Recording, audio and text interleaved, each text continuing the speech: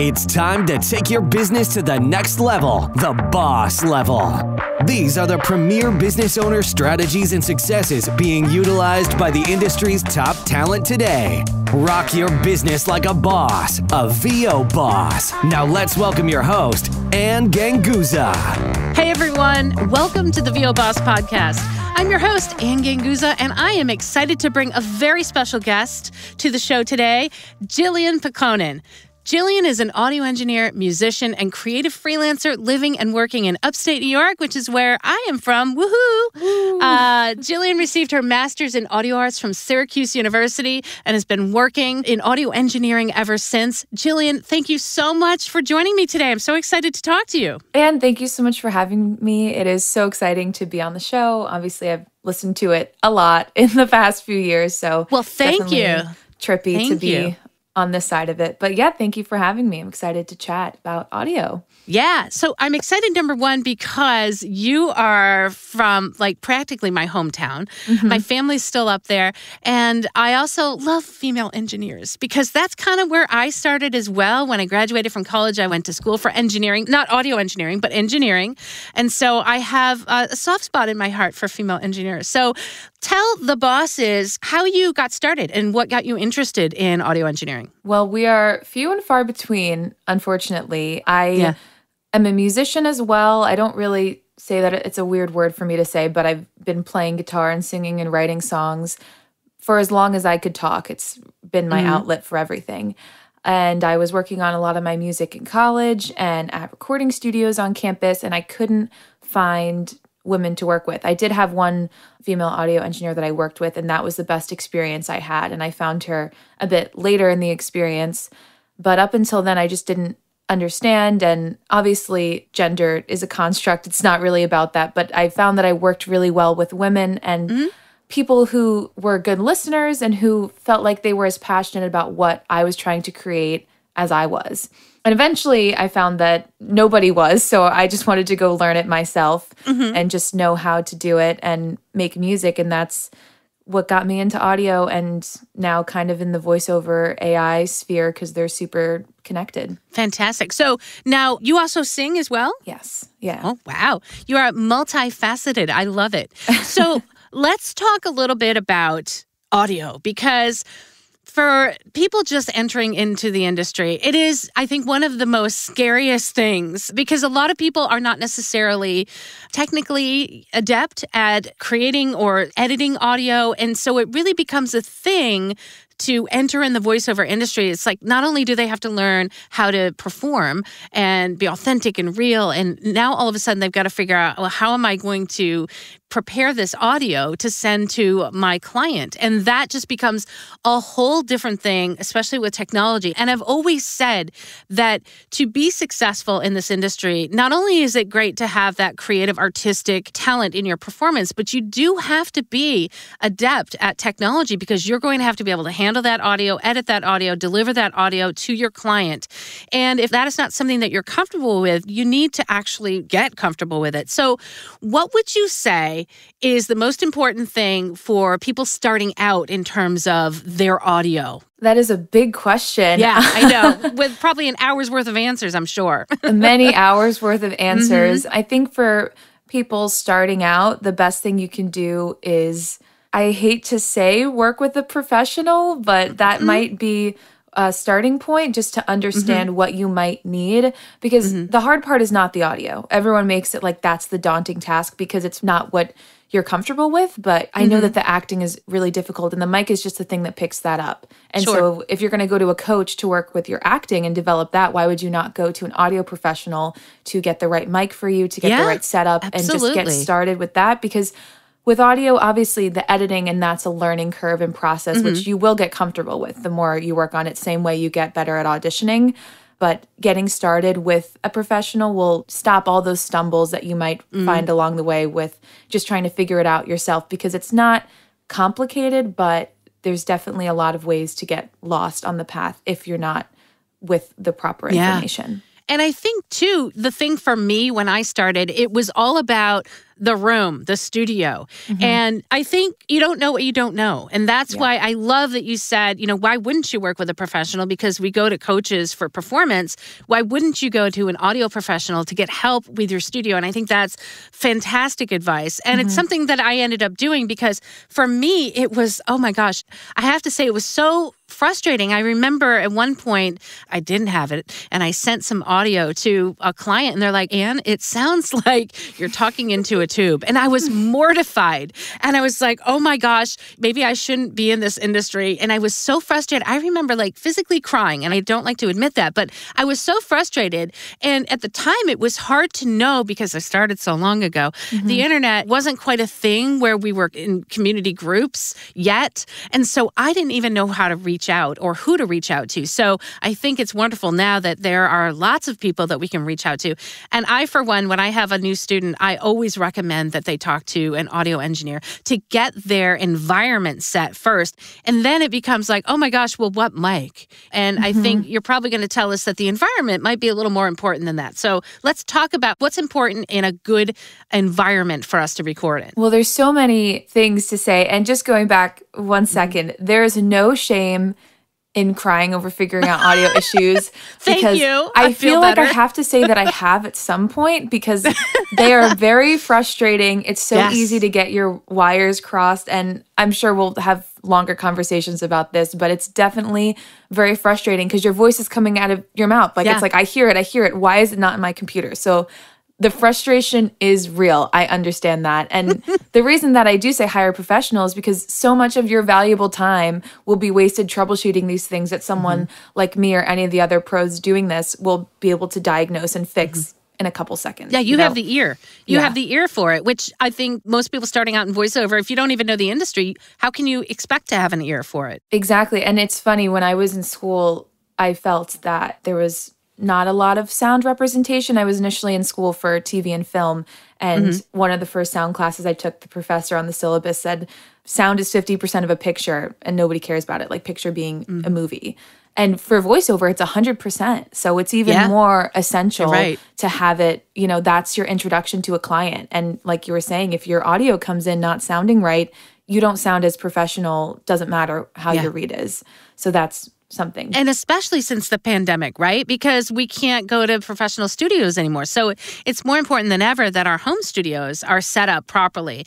And even just like, again, starting out, you don't really know. And I will say that there's a ton of information on mm-hmm. the internet, but again, there's a ton of information on the internet. So how do newcomers to the industry discern what's the good information and what's not good information? Because I certainly didn't go to school for audio engineering. And I know that that's an entire field, obviously. Mm-hmm. So, again, so for our environment, then, what's important? What's important for us to set that up? Well, I think the most important thing is within a voice, something that I listen for is crisp, clean, natural sound. I want it to mm-hmm. sound like we're sitting together talking, but mm-hmm. maybe a little bit better because, you know, with all the equipment, you have the ability to boost some frequencies in your voice. We're basically, with audio, we're trying to mimic what our ear hears, but there's this whole mm-hmm. other, I'm not even get into it, but there's something called psychoacoustics, which is how panning works and stereo. And it's basically using the computer and things we can do with audio and stereo field to trick your ear into hearing things that are not exactly as they are. So we're using plugins, EQ, all of those things to make you sound your mm-hmm. best. But some issues that I see happen a lot is, mm-hmm. you know, incorrect recording levels, too much room tone, too much stuff going on in your environment, improper mic placement, just not speaking into the right part of the mic or having it placed the wrong way. And then there's just textural issues of needing plugins or other things to manipulate mm-hmm. your voice to get it sounding its best. Got it. So, in terms of recording levels, right? I'm mm-hmm. still thinking about the room, and, and you said things are happening. Is there such a thing? Some students have mentioned this to me as being soundproof so that, oh gosh, I live next to an airport or the landscapers out there. Is there a way that you can create a studio that is soundproof, that you won't hear those things? Yes. I think that it's going to be wildly out of a regular person's budget because ah. like when you go into a recording studio the way that they do that is they have floating floors, and basically you build a room mm. inside of a room. And Got there's it. a bunch of ways to do it. But when you're in an isolation booth, you know, there's the building and then there's mm-hmm. the studio, which is within it. So sure. there's going to be acoustic paneling and other things in there that help with the reflections of the sound. But realistically, you'd need to build something. But that's not the only way to get really good isolated sound. You can do mm. DIY things. I mean, people go into closets to record for a reason. They're really good. Mm-hmm. I mean, I don't know if it's sustainable. You know, you need a booth if you're going to be doing it full time or something. But that tiny confined space that stops any reflections of sound, which would make echoes in the background, the padding of clothing that would kind of dampen everything. Mm-hmm. And that just makes it really clear for the mic to be picking up your voice. Got it. So then if you've got a decent environment, right, that mm-hmm. doesn't have a lot of hard surfaces and you've got the absorption so that you're not getting echo or reflection back, what then is the next thing that we want to look at in terms of getting great sound from our studios? Well, I think a really important thing is recording level. I think mm. making sure that you're coming in at the right volume and it's kind of like, you know, Goldilocks situation. You don't want to be too loud, you don't want to be too quiet, you want to mm. kind of be just right. And a way that I gauge this, I don't really like giving numbers as like if you're at this number, you're mm-hmm. perfect. Mm-hmm. You're at the, you know, that's really hard. I want everyone to learn to trust your ears, but there are a few ways to measure it. So within your DAW, there's usually going to be like a colorful meter that's mm-hmm. going. Mm-hmm. And when mm-hmm. you're checking that out, I like to say to be three quarters of the way up. So you don't want to be lower than half. You don't want to be towards mm-hmm. the top. And I know I work primarily in Pro Tools. I know most people don't, and most voice actors mm-hmm. shouldn't. There's no need. But it's really green at the three quarters way mark. Mm-hmm. And then it starts to mm-hmm. go orange and red. And you never want to be in the red. That audio will become unusable. But that's how I like to look at it. And I mm-hmm. think it's simple enough for someone to look at within their DAW and. Now, you mentioned something that, and I don't want to get too off track because I got a couple mm-hmm. other questions I'd love mm-hmm. for you to answer, but you mentioned that Pro Tools wasn't necessarily something that a voice actor needed. And I remember oh gosh, back in the day, Pro Tools Lite used to come with the audio interface. And so mm-hmm. I started using Pro Tools Lite and it was a bear mm-hmm. to learn. And I think that was also another thing that scared me in terms of how am I going to be able to succeed in this industry if I cannot figure out how to use this audio editor? So if I can just kind of divert just for mm-hmm. a minute. Tell us what kind of an audio editor or your DAW, right? It's also mm-hmm. known as a DAW, is good for today's voice talent when they first start out. Yeah, so DAW is I just throw the terms around because sometimes I forget like this is my language but it's a digital audio workstation so that's really anything you're going to be working in i mm-hmm. use pro tools because it's a great multi-track recorder a lot of times when mm-hmm. i'm working in music we usually sit around 50 to 100 tracks going on maybe not at, at, one time eventually but you know when you're doing voiceover you have one it's a mono mm-hmm. recording mm-hmm. for the most part yeah so i know a lot of people use twisted wave i've used twisted wave i think that it's great i love twisted wave i know people use audition audition is mm-hmm. great i think that really, especially starting out, you don't need anything more than Twisted Wave. I think it's affordable. I think mm-hmm. it's great. I spend most of my time in Pro Tools. I dabble in Logic and Audition. And mm. I, even Audition is a little bit complicated. I can imagine I being mm-hmm. overwhelmed by it for the mm-hmm. functionality. Mm-hmm. I don't know if it's necessary, really. Yeah. But I don't want to knock it I know people love it. Shh, don't tell anybody, but I totally agree with you. And the yeah. reason why is because I think I started with Pro Tools Lite and I was like, oh my God, this is too much. Mm-hmm. I don't mm-hmm. think I need it. And I think to reiterate what you're saying, we are voice actors. Unless mm-hmm. we're producers or audio engineers, we don't need multi tracks. I mean, mm-hmm. unless I'm putting sound effects or music under, I don't need that capacity. Which you can do in Twisted Wave. And Twisted Wave for me mm-hmm. is so simple in terms of it's like Audacity on crack. I always say that. because Audacity is free. You get what you pay for, and it's mm-hmm. wonderful. Mm-hmm. And I think a lot of people do that. But I think if you have a Mac, Twisted Wave mm-hmm. is the way to go. What about a PC though? For your DAW, what do you think? I mean, because Twisted Wave doesn't run natively on PC. They have an online version, if I remember correctly, or they are coming out with, I think, they do have an online version. And from what I know, they are working on it for PC. Yeah. I have not had a PC since the early 2000s, my first computer. So really, yeah, I don't know. Mm-hmm. I think mm-hmm. maybe trying the web browser version for that would work. yeah. And, you know, I'd have to get a better answer for that because honestly, I live in the Mac universe. That's that's well, where and if we wanted to get into arguments with people that listen to this about which is better, Mac or PC, for audio editing, I will say my own personal story is uh, when I started out of college, I worked on systems that were Unix based. And so I was a Unix girl. And then Windows kind of came up the ranks. And when I was working in education, we started using Windows servers. And so I became a PC girl. And then ultimately, when I started to go into voiceover part time and then full time, of course, I bought a really kicked up version of a Dell laptop with the most memory and everything that I thought was going to be my computer for audio. And my audio didn't work, it wasn't compatible. And I was so upset because I spent a lot of money upgrading the RAM and upgrading the space and doing everything to have a really great computer and it didn't work. And so for many years, people said, Mac, it just works for audio and, mm-hmm. and creative endeavors. And I just said, well, let me try it. And I'll tell you what, I haven't looked back. And that's my story, and I'm sticking to it, bosses out there. I'm not saying that one's better than the other. However, my personal experience is that the Mac just, things just work audio wise. You hook up any Yeah. particular microphone or audio interface, boom, it recognizes it. I've not had issues. So, Yeah, I mean, I live my entire life in the Mac ecosystem. Like that's how I organize my life. Obviously, I've had friends and people I know. My boyfriend has a PC. I don't know how to work it. Mm-hmm. Yeah. I mean, I'm learning, but it's just Yeah. apples and oranges, literally. It but I think that there's a way to do it. If you have a PC, don't go out and buy a Mac because we said we like them. There's a way Mm-hmm. Yes, to, to yes, work do it. around it. No.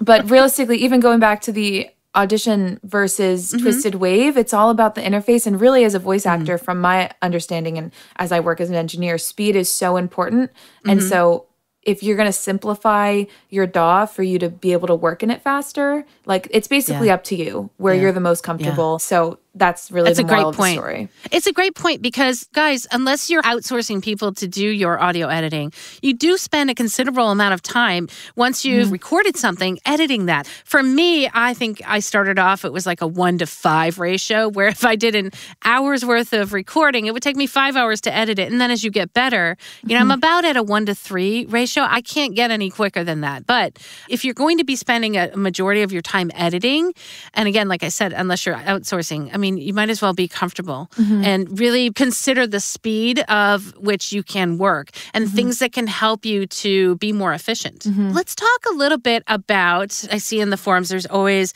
what's your noise floor. And so what's the importance of having a low noise floor? So noise floor is basically the sound that your gear makes because if you think hmm. about it, voice goes into a microphone, goes through an XLR cable or maybe directly into the computer, through the interface, back into the computer. That mm-hmm. process makes a little bit of electronic noise. Mm. And so I didn't know that. the term noise floor mm-hmm. describes that noise.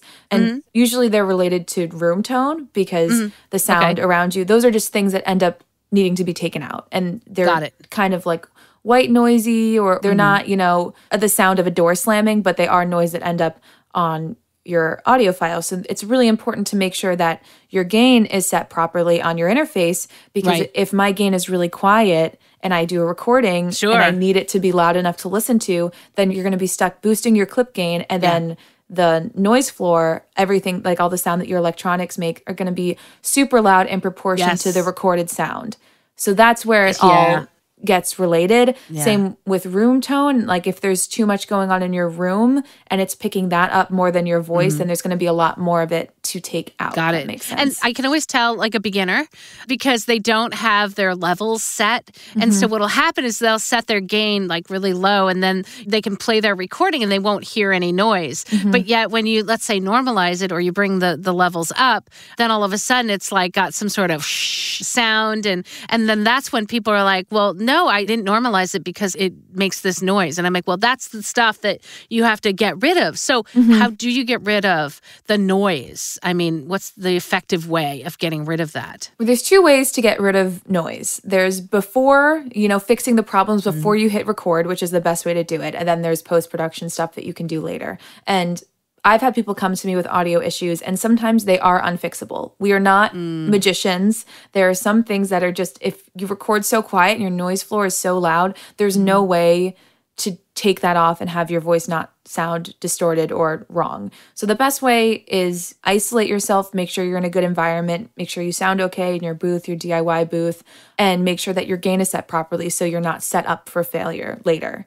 Mm-hmm. And then mm-hmm. in post production, there are plugins that you can use to kind of remove those frequencies. So if you're getting rid of room tone, something that I use is Spectral Denoise by iZotope RX. Um, mm-hmm. I think mm-hmm. I have eight or nine. I'm not sure what number they're up to, but really the one that I have is great. And that just you take a little, it takes like a little audio picture of the room tone and then goes throughout the audio file and just removes that frequency and tone, mm-hmm. which is great. That's incredible. The only thing you need to have with that is a little bit of room tone noise with mm-hmm. no speaking before or after the clip so that, you know, the generator can grab it. But that's my favorite thing to use and it works really well for slight room tone or little wind in the background if you're outside, whatever it might be. But that's like the pro plugin. So then there's the DAW right? Mm-hmm. And that is really based on what you're comfortable with. And mm-hmm. depending mm-hmm. on your platform, you can have various DAWs. We've already established that we like Twisted Wave. You use Pro mm-hmm. Tools because, of mm-hmm. course, you're an audio engineer, and, and then mm-hmm. that makes sense. You need to have that functionality. Now we've added into the mix something called iZotope to help remove certain noises. And so, is that typically what most voice actors will have to buy iZotope? Will it work within their DAW, or is that when it becomes complicated? it's a whole thing thing. We could do a yeah. whole episode about plugins and all of that. Yeah. But for the mm-hmm. simple answer is that iZotope, they have a bunch of plugins, all voice related. The two that mm-hmm. I use the most, I have the whole suite because, you know, I work with voices all the time.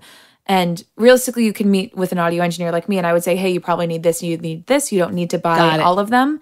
But I use spectral denoise the most. That gets rid of the noise. And then there's also mouth declick, which gets rid of all the little mm-hmm. clicky, those noises. Mm-hmm. I use that often, but I use that for music, for everything, for my singing voice. I hate hearing those on myself. Sure. So those are the two that I use, but you can get any variation. I haven't used them within Twisted Wave just because I haven't, but I think that you mm-hmm. can because I've, I have. Oh yes, yep. so you can integrate mm-hmm. them into DAWs. I've used them in mm-hmm. Pro Tools, I've used them in Logic, I've used them in Audition, and iZotope as well has its own little audio editor so you can import a file render it with the effect and then import it into your DAW if you like to work that way. So then let's talk about okay, if you're new to the industry and you're kind of overwhelmed mm-hmm. with all of this, you are available. Like an audio engineer can be available to help you with all of those choices, right? You can help in terms of let's say somebody doesn't know what to do to make their sound better in their booth. So they can consult with you maybe send you a sound file and you can evaluate and then offer suggestions on how they might be able to improve their sound, right? And get rid of some of the noise. And so that also includes, right? What microphone should I get? I mean, that's the other thing, right? So we've talked about how important the environment is. We've talked about DAWs and how we can do things after, you know, we record to mm-hmm. get rid of noise.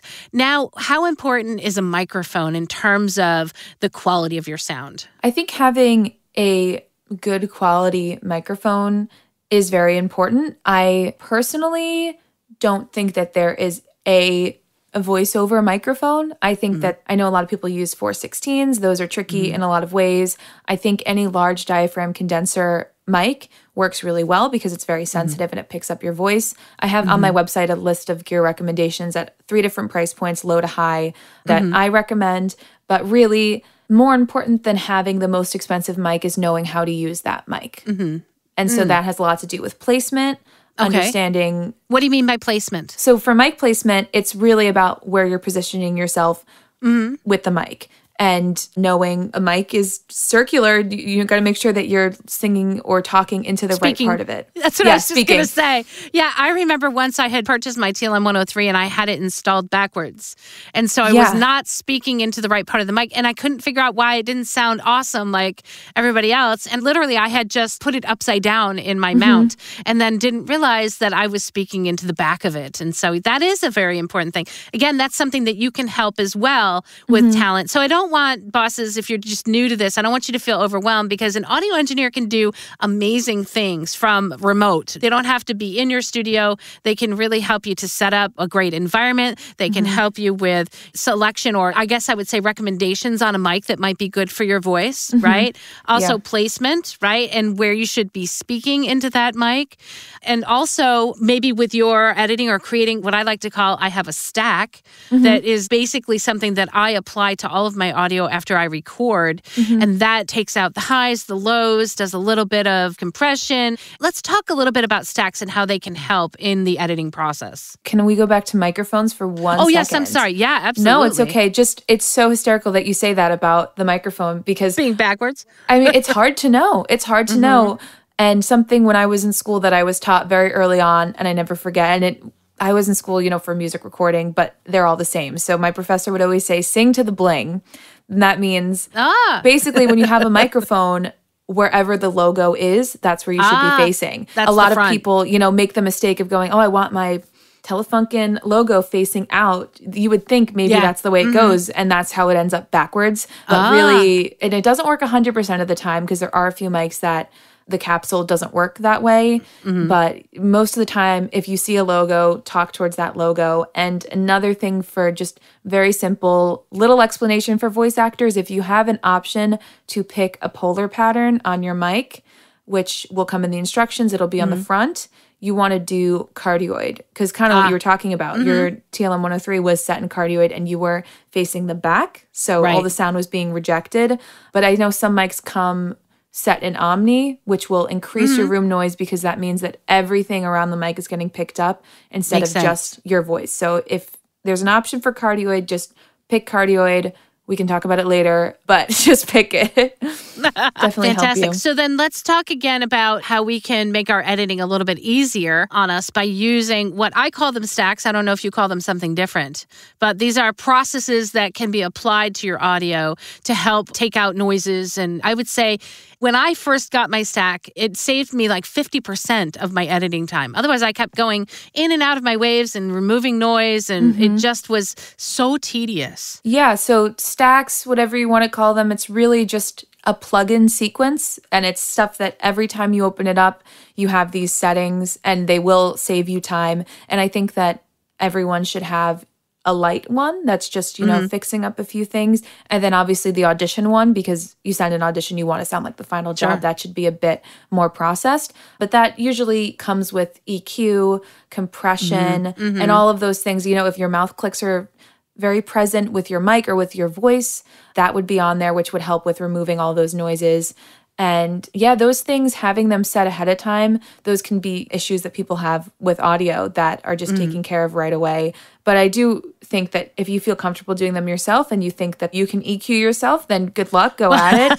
But no. I do think that maybe, you know, working with someone who can help you would be helpful. I agree. I agree. And, and I will say that just because, again, I did not go to school for audio engineering. So I always highly recommend working with a professional. What is it like to work with you? in terms of let's say a student wanted to hire you to help them with their sound what do you do how do you assess that so my current offering that i have which is mm-hmm. kind of just starting point and sort of a pipeline into us working together further is I offer an audio assessment because okay. there are a lot of people that are selling and selling and selling and sometimes they sell things that people don't really need. So the audio assessment is sort of a checkpoint. We meet it's not together but this is you know our interaction. I have some pre-written copy that you'll get. You send me an audio sample. I listen and i either say hey you know you're really set you're great. You actually don't need anything you sound like a pro or hey here are a few things that i would fix and i address all the things that we talked about today you know i think that maybe your mic placement is a little bit off i think that maybe your gain you know all mm-hmm, the things i'm mm-hmm. hearing i would eq it this way i think maybe a little compression would help your voice just the things that i'm hearing to kind of get an engineer's ear on what you're Got sending it. to clients and how you sound. And from there, we can go on and potentially, you sure. know, build a stack together. And I'm working on building out some courses for people to learn a bit more. But that's what I have kind of right now going. Fantastic. So now, did you say is there a cost associated with the audio assessment? Or yes. okay, yes. okay. So bosses, I do believe that we have a special offering we do. from we Gillian. Do. Yeah, for her to assess your audio. Tell us about that. So for bosses and everyone getting involved for the next month or so, uh, I'm going to be running, you know, $20 off my audio assessments, awesome. but for the early bird bosses, we are going to, for the first five people to get on my site and purchase an audio assessment using the promo code BOSS Top 5, you will get a free audio assessment. I will kind of go over it, and Anne and I will actually be going over them on our next episode together. Awesome. So, you know, proceed with caution. If you don't want to be on the show, don't do it. But the first five people will get a free audio assessment and anonymously we will go through and just kind of talk about the issues so that you can hear what I would do, what I'm hearing, just mm-hmm. to have it as a further explanation for educational purposes. And for anyone who's not in the first five, $20 off for that. Well, fantastic. I love, love, love that because, first of all, as you know, I am all about education. And so I love that we're going to actually do this stuff in our next episodes. So, yeah, bosses, the first five to purchase an audio assessment using the word boss, top five, B O S S T O P 5, are going to get a free audio assessment and we're going to be on the show. So, you're going to hear Gillian live assessing your audio, making the suggestions, and we're going to just be learning as we go. And I love that. So, Gillian, thank you so much for that. I think that's a wonderful offer. And thanks so much for being on the show. I feel just like we just touched the surface. The surface. Yes. yeah. We have so much more to come. And so, bosses, I'm proud to announce that Gillian and I are going to be getting together for more episodes so that we can have an entire audio themed series. And so, I'm really excited. Gillian, thank you so much for today's episode and for the Boss Top 5 guys, we're going to be sending out an email. It's also going to be on our show notes page. So make sure that you check out our VO Boss show notes page for that offer. And wow, Gillian, thanks so much. Thank you so much for having me. And everybody yeah. who's listening, if you have audio questions, get in contact, reach out via Instagram, whatever you do to get a hold of Boss Queen Miss Anne and let her know because we will cover everything that you want to know. And yes. I'm just really excited to also, you know, educate people and teach yeah. them what they need to know, what they should be hiring people for, and just get everybody sounding their best. Okay, and that website is? For me, it's jillwiththeg.com. Jill with the G.com. It'll all be linked in the show notes. Perfect. And same with social media. That's that's where I am everywhere. Fantastic. All right, guys, I'd like to give a great big shout out to our sponsor, IPDTL. You too can network and connect like bosses. Find out more at IPDTL.com. You guys have an amazing week, and we'll see you next week. Bye. Join us next week for another edition of VO Boss with your host, Anne Ganguzza.